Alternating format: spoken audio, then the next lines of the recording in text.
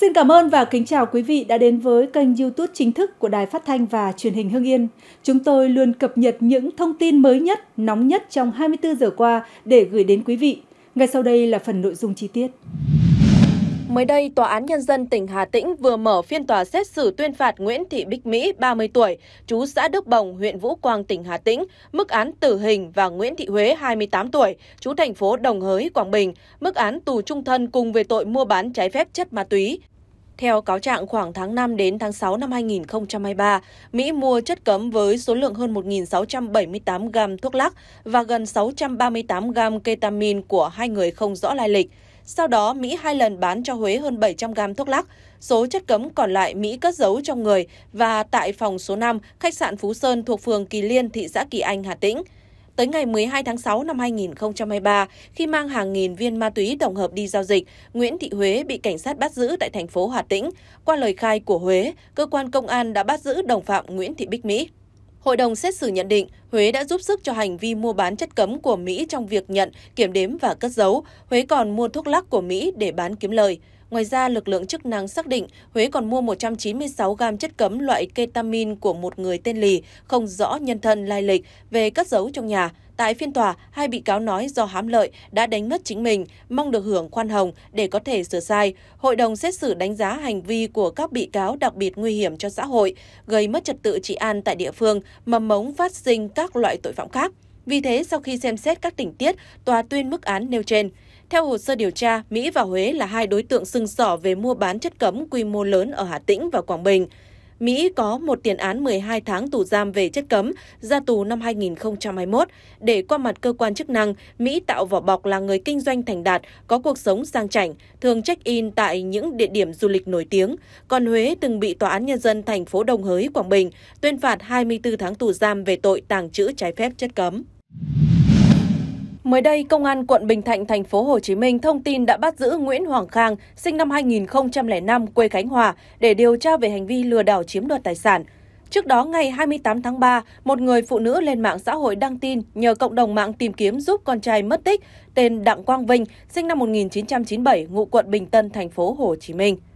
Sau đó, gia đình nhận được cuộc gọi từ một thanh niên nói anh Vinh đang ở Campuchia. Người này cũng đề nghị mẹ anh Vinh chuyển 6.000 đô la Mỹ để nhận con. Do không lo đủ tiền nên gia đình anh Vinh xin đưa 65 triệu đồng thì được người này đồng ý. Kẻ này còn đề nghị gia đình đến cửa khẩu quốc tế Mộc Bài, tỉnh Tây Ninh để trao tiền nhận con. Sau đó, địa điểm giao dịch được đổi đến đường D5, phường 25, quận Bình Thạnh. Đến khoảng 12 giờ 30 phút ngày 29 tháng 3, người nhà anh V đến công an phường 25, quận Bình Thạnh để trình báo vụ việc. Sau đó, ngay khi thanh niên vừa nhận 65 triệu đồng tiền chuộc từ người nhà anh V tại địa chỉ số 70 đường D5 thì bị công an ập vào bắt giữ. Tại cơ quan điều tra, nam thanh niên khai tên Nguyễn Hoàng Khang đang là sinh viên tại một trường trên địa bàn thành phố Hồ Chí Minh. Kiểm tra trong ba lô của Khang, lực lượng chức năng phát hiện số tiền mặt 65 triệu đồng. Vụ việc đang được công an quận Bình Thạnh tiếp tục điều tra làm rõ. Mới đây, mạng xã hội chia sẻ đoạn clip về việc một cháu trai có dấu hiệu bị sử dụng vũ lực khiến nhiều người phẫn nộ. Theo đoạn clip được đăng tải trên chiếc xe ba gác đã được hàng khung sắt kín mít, một cháu trai khoảng 3 đến 4 tuổi bị đặt ở phía trong. Sau đó một người đàn ông tiến đến rồi bất ngờ ra đòn mạnh vào người cháu. Dù cho cháu gào khóc nhưng người đàn ông vẫn không dừng tay, thậm chí còn tác động mạnh hơn. Cạnh đó một cháu nhỏ khác đang tỏ vẻ sợ hãi chỉ biết đứng im khi chứng kiến hành động côn đồ. Thấy vậy người đàn ông liền quát lớn vào trong nhà. Lúc này cháu kia liền chạy mất dạng. Sau khi dùng vũ lực với cháu để mặc cháu khóc, người này đã khóa khung sắt lại không cho cháu ra ngoài. Cháu trai sau đó tiếp tục gào khóc cầu xin nhưng người đàn ông mặc kệ vẫn nằm trên võng chơi điện thoại. Rất nhiều người sau khi xem clip đều bày tỏ sự phẫn nộ đến tột cùng và mong muốn các cơ quan chức năng khẩn trương tìm ra danh tính người đàn ông để xử lý trước pháp luật, đồng thời giải cứu cháu. Theo người đăng tải chia sẻ, sự việc xảy ra vào ngày 29 tháng 3 tại ấp Bình Thuận 2, khu dân cư Thuận Giao, thành phố Thuận An, tỉnh Bình Dương. Người đàn ông trong clip là bố ruột của cháu trai. Qua tìm hiểu được biết, người đàn ông trong đoạn video tên là HN Hiện ông cùng ba con nhỏ 2, 3 và 4 tuổi thuê trọ tại khu vực trên. Nhiều người cho biết người đàn ông này làm nghề bán vé số và thường xuyên chở các con trong thùng sắt sau xe đi làm cùng. Đây không phải là lần đầu tiên người này có hành vi như vậy với cháu, thậm chí người này còn có ý định tấn công người muốn can ngăn để giải cứu cháu. Lãnh đạo Ủy ban Nhân dân phường Thuận Giao cho biết nhận được tin báo cán bộ và công an phường đã đến tận nơi ông này sinh sống để tìm hiểu sự việc. Hiện cháu nhỏ không có thương tích, sức khỏe ổn định. Tối 29 tháng 3, Công an phường Thuận Giao cũng đã mời ông N lên trụ sở làm việc, đồng thời yêu cầu ông ký cam kết không được lặp lại hành vi. Công an cũng đã lập biên bản xử phạt hành chính đối với ông N. Mới đây, mạng xã hội chia sẻ đoạn clip ghi lại cảnh một nữ nhân viên quán cà phê đang mang nước cho khách thì bị đôi nam nữ ngồi trên xe máy, dùng ly nước tạt vào mặt. Do nước có ớt nên nữ nhân viên quán cà phê đau đớn, ôm mặt bỏ chạy vào bên trong cầu cứu. Vụ việc xảy ra vào ngày 27 tháng 3 trong clip, một đôi nam nữ điều khiển xe máy đang dừng trước một quán nước trên đường Lý Thường Kiệt, khu phố 1, phường Chánh Nghĩa, thành phố Thủ Dầu Một, tỉnh Bình Dương. Khi thấy nữ nhân viên mặc áo đen đi ra đưa đồ, cô gái ngồi sau xe máy liền hắt cốc nước có pha ớt vào mặt đối phương, rồi cả hai tăng ga bỏ chạy. Toàn bộ diễn biến sự việc đã được camera giám sát ghi lại. Liên quan vụ việc, đại diện công an thành phố Thủ Dầu Một cho biết, sau khi nhận được tin trình báo của nạn nhân là chị NTTH, nhân viên quán cà phê trên đường Lý Thường Kiệt, Công an phường Chánh Nghĩa đã xác minh và mời NHTV sinh năm 2006 và NMK sinh năm 2009 cùng ngụ tỉnh Bình Dương về trụ sở làm việc. Tại cơ quan công an, hai người này khai do có mâu thuẫn với nhau trong việc chia sẻ hình ảnh cá nhân và nói xấu nhau trên mạng xã hội, nên bực tức và đến quán mua ly trà sữa, sau đó lấy hai quả ớt cắt nhỏ bỏ vào trong ly trà sữa. Hai người đi xe máy tới quán cà phê nơi chị Hát làm việc rồi giả vờ mua nước mang đi. Khi nữ nhân viên đi ra ngoài thì bị họ tạt ly trà sữa có ớt vào mặt. Vụ việc đang được công an thành phố Thủ Dầu Một tiếp tục xác minh làm rõ để xử lý theo quy định pháp luật. Mới đây, Công an Kiên Giang cho biết Công an huyện Tân Hiệp đang tạm giữ đối tượng Vũ Văn Xuyên, 43 tuổi để điều tra hành vi giết người. Nạn nhân là ông NVN, 60 tuổi, ngụ cùng địa phương với Xuyên. Thông tin ban đầu, chiều tối ngày 28 tháng 3, nhận được tin báo của người dân phát hiện ông N tử vong tại nhà riêng, có dấu hiệu khả nghi, Công an huyện Tân Hiệp đã phối hợp Phòng Cảnh sát Hình sự Công an Kiên Giang nhanh chóng vào cuộc điều tra xác minh làm rõ. Qua xác minh điều tra, lực lượng công an xác định tại thời điểm xảy ra vụ việc, nạn nhân ở nhà một mình, hàng xóm xung quanh đều vắng nhà nên không ai biết được sự việc.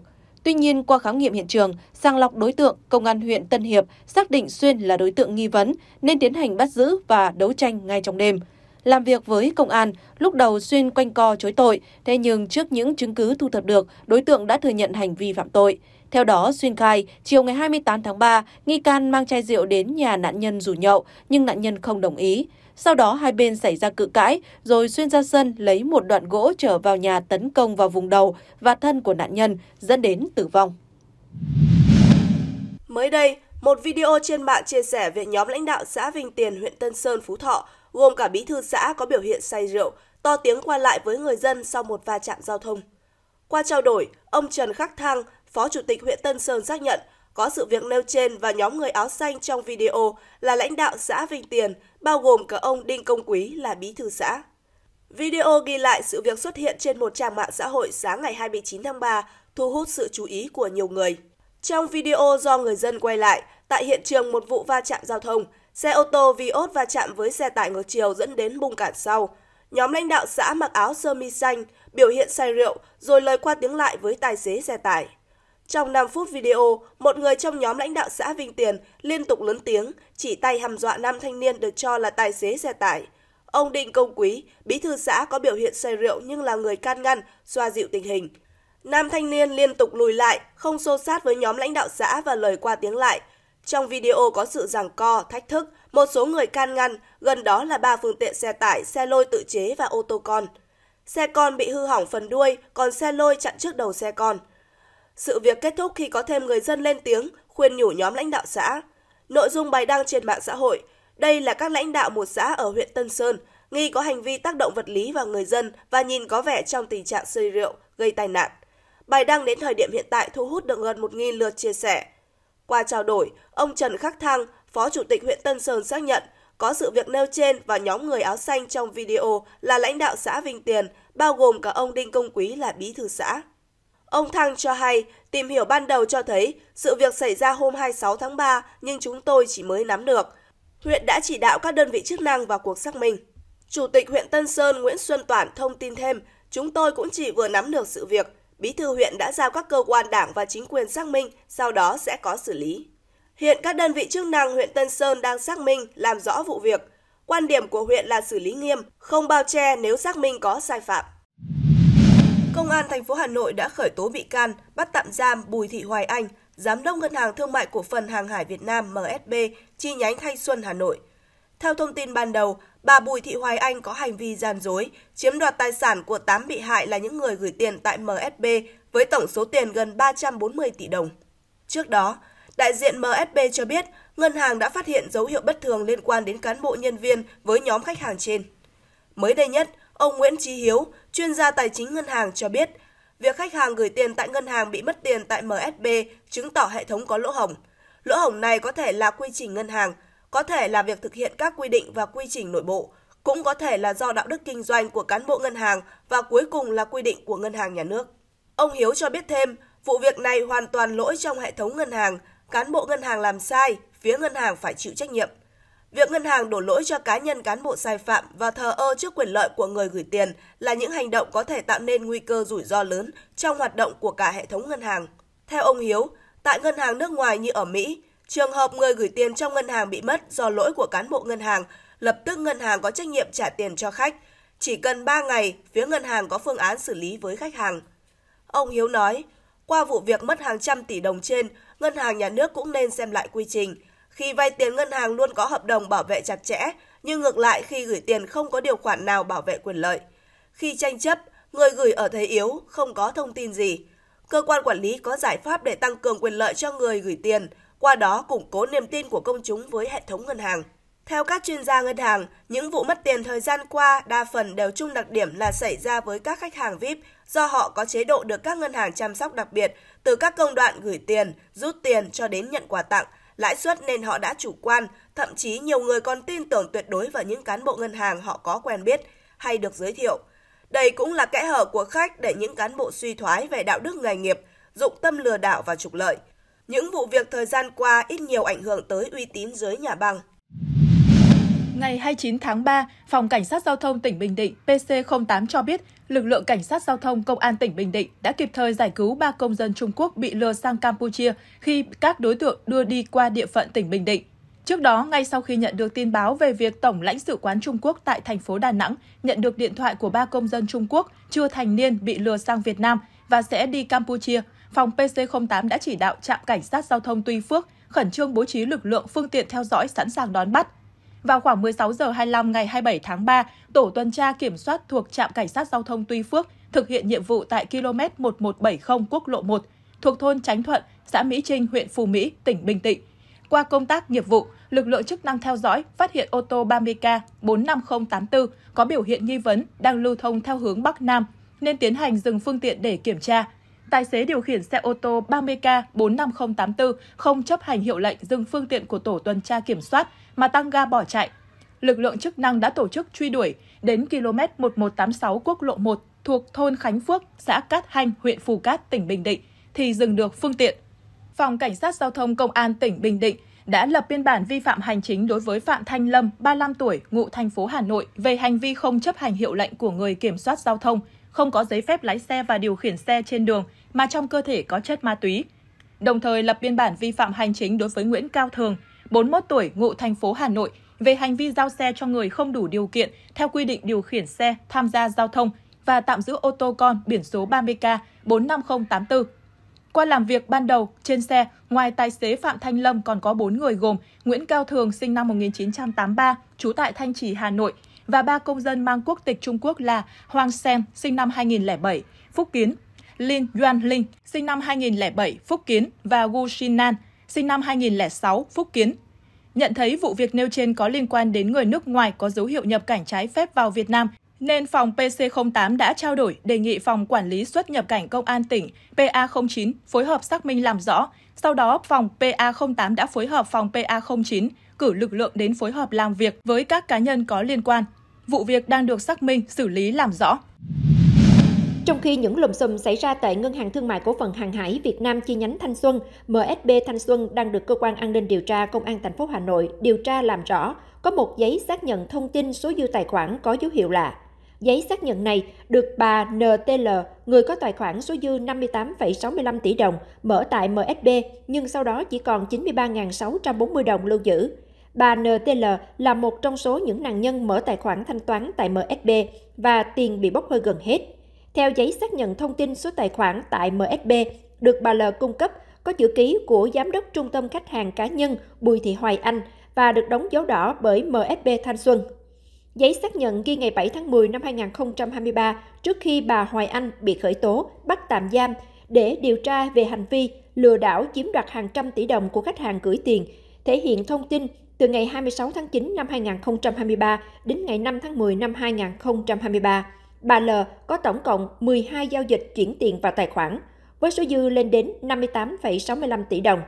Theo văn bản này, các giao dịch gửi tiền vào tài khoản của bà NTL đều có thời hạn gửi 4 tuần, lãi suất được hào phóng chi trả là 6% một năm. Con số này vượt xa so với mức lãi suất khoảng 3,8% một năm cho tiền gửi kỳ hạn một tháng được ngân hàng MSB niêm yết vào tháng 10 năm 2023, thời điểm MSB Thanh Xuân cấp giấy xác nhận cho khách hàng. Điều đáng nói, mức lãi suất 6% một năm cho các khoản tiền gửi kỳ hạn 4 tuần được áp dụng thực tế vượt xa so với mức lãi suất trần 4,75% một năm cho tiền gửi có kỳ hạn dưới 6 tháng theo quy định của Ngân hàng Nhà nước. Cán bộ tín dụng một ngân hàng thương mại cổ phần có trụ sở tại Hà Nội nói, thông thường các ngân hàng không dám công khai thể hiện lãi suất vượt trần trên giấy trắng mực đen như vậy. Thay vào đó, lãi suất ưu đãi nếu có cũng chỉ được chi theo hình thức chi chăm sóc khách hàng hay còn gọi là chi lãi ngoài, nhưng chi vượt mức lãi suất trần theo quy định của ngân hàng nhà nước là điều hiếm gặp kể từ sau vụ Ocean Bank giai đoạn 2010-2012. Cũng tương tự như bà L, bà VTKO cùng trú tại Hà Nội cho biết được cán bộ MSB mở tài khoản vào tháng 3 năm 2021 Đáng chú ý, tài khoản cá nhân được mở nhưng do ngân hàng MSB quản lý để báo cáo số dư cuối ngày và cuối tháng, phục vụ cho việc tính chỉ số giá chứng khoán của MSB. Khách hàng không được quản lý tài khoản trên app điện thoại, không được cài tin nhắn thông báo số dư tài khoản qua điện thoại. Bà O đã nhiều lần chuyển tiền vào tài khoản.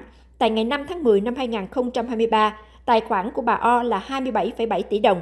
Tuy nhiên, trong ngày 12 tháng 10 năm 2023, bà O yêu cầu sao kê tài khoản phát hiện số tiền trong tài khoản bốc hơi chỉ còn dưới 100.000 đồng. Bà O khẳng định không có bất kỳ giao dịch rút tiền hay chuyển khoản nào sau thời điểm MFB xác nhận số dư tài khoản vào đầu tháng 10. Cơ quan cảnh sát điều tra công an thành phố Hồ Chí Minh đã hoàn tất kết luận điều tra, đề nghị Viện kiểm sát nhân dân cung cấp truy tố 254 bị can liên quan đến vụ án sai phạm xảy ra tại Cục Đăng kiểm Việt Nam và các cơ quan liên quan. Bị can Đặng Việt Hà, cựu Cục trưởng Cục Đăng kiểm Việt Nam đã buông lỏng quản lý, thiếu kiểm tra giám sát để xảy ra sai phạm, tiêu cực có hệ thống trong thời gian dài. Khi phát hiện sai phạm tiêu cực, ông Hà không chấn chỉnh xử lý. Vì vụ lợi cá nhân, ông Hà tiếp tục đưa ra các chủ trương chỉ đạo trái pháp luật theo hướng nâng mức hưởng lợi của mình đối với số tiền tiêu cực, hối lộ mà cán bộ phòng kiểm định xe cơ giới, các trung tâm đăng kiểm nhận được.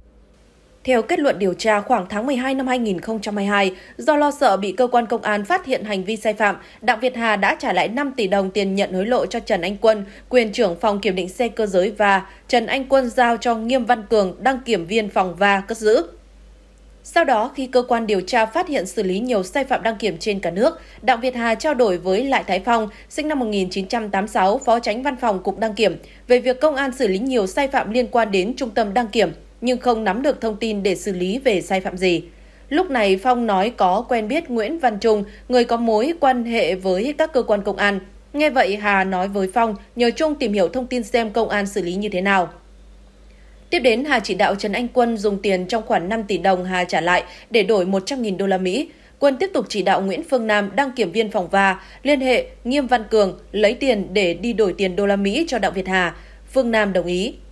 Nam gặp Cường lấy hơn 2,4 tỷ đồng đổi thành 100.000 đô la Mỹ và đưa cho Trần Anh Quân. Sau đó Quân đưa 100.000 đô la Mỹ cho Đặng Việt Hà tại phòng làm việc của Hà. Sau khi nhận được tiền từ Quân, Hà gọi lại Thái Phong lên làm việc và đưa 100.000 đô la Mỹ cho Phong. Sau đó Phong gặp và đưa số tiền này cho Nguyễn Văn Trung để nhờ tìm người thu thập thông tin đến vụ án đăng kiểm. Tuy nhiên nhận tiền xong, Trung chỉ tìm hiểu thông tin qua báo chí, không cung cấp, thu thập được thông tin gì như hứa hẹn, rồi chiếm đoạt số tiền này. Khi biết Phong bị công an triệu tập mời làm việc, Trung mới trả lại 99.000 đô la Mỹ. Hành vi của Trung phạm vào tội lừa đảo chiếm đoạt tài sản, quy định tại khoản 4 điều 174 Bộ luật hình sự. Sau khi bị khởi tố bắt giam, ngày 29 tháng 8 năm 2023, Đặng Việt Hà có đơn tố cáo gửi nhà tạm giữ công an quận 12 thành phố Hồ Chí Minh về việc Nguyễn Văn Trung lừa đảo chiếm đoạt tài sản của Hà.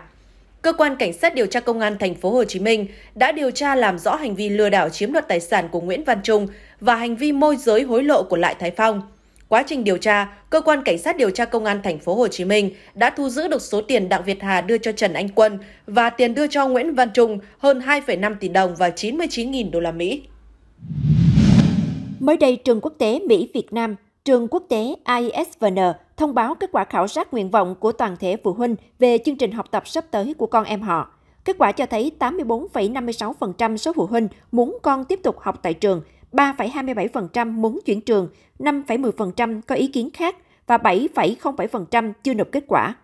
Trong 5,10% ý kiến khác, đại đa số phụ huynh mong muốn đảm bảo các cam kết trong hợp đồng đã ký với nhà trường, xem xét nguyện vọng của phụ huynh và hội đồng trường, Sở Giáo dục và Đào tạo thành phố Hồ Chí Minh cùng Công an thành phố Hồ Chí Minh dự kiến tổ chức cuộc họp giữa hội đồng trường và toàn thể phụ huynh vào chiều ngày 30 tháng 3 để bàn các giải pháp đảm bảo quyền lợi học tập dành cho hơn 1.200 học sinh AISVN. Trước đó, Sở Giáo dục và Đào tạo thành phố Hồ Chí Minh có văn bản yêu cầu trường quốc tế AISVN tổng hợp nguyện vọng của phụ huynh về việc tổ chức học tập cho học sinh thời gian tới và báo cáo kết quả trước 17 giờ cùng ngày. Nhận được chỉ đạo này, trường lập tức triển khai khảo sát qua email tới tất cả phụ huynh. Sau lầm xùm, Ủy ban nhân dân thành phố Hồ Chí Minh cũng đã có báo cáo gửi Thủ tướng về tình hình hoạt động của cơ sở này. Theo đó, trường được thành lập trên cơ sở đề nghị của công ty cổ phần giáo dục quốc tế Mỹ AIS do bà Nguyễn Thị Úc Em, Chủ tịch Hội đồng Quản trị đứng tên. Bà Úc Em đã ký kết nhiều loại hợp đồng dưới hình thức vay vốn với một số phụ huynh có con em đang theo học tại trường với các điều khoản vay vốn không tính lãi suất của khoản tiền vay trong suốt thời gian học sinh theo học. Khi học sinh hoàn thành chương trình, trường sẽ trả lại số tiền đã vay trong thời gian nhất định.